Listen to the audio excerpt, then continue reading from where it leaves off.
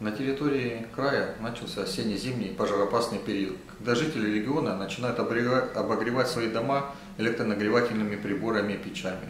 Зачастую именно нарушение правил эксплуатации печного оборудования приводит к пожарам, вследствие которых травмируются и гибнут люди. В большинстве случаев граждане могут лишиться жизни не от открытого огня, а от отравления угарным газом или продуктами горения.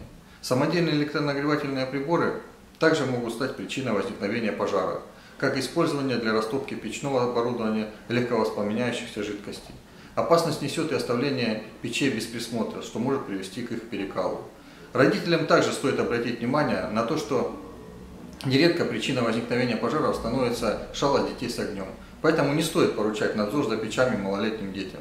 В целях предупреждения пожаров, гибели и травмирования людей с октября месяца и до окончания отопительного сезона проводится профилактическая операция «Отопительный сезон», в рамках которой проводятся рейды в жилом секторе с целью стабилизации обстановки с пожарами и их последствиями.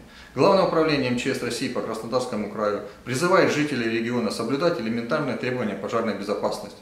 В случае чрезвычайной ситуации звонить по номеру 01 или 101 с мобильного.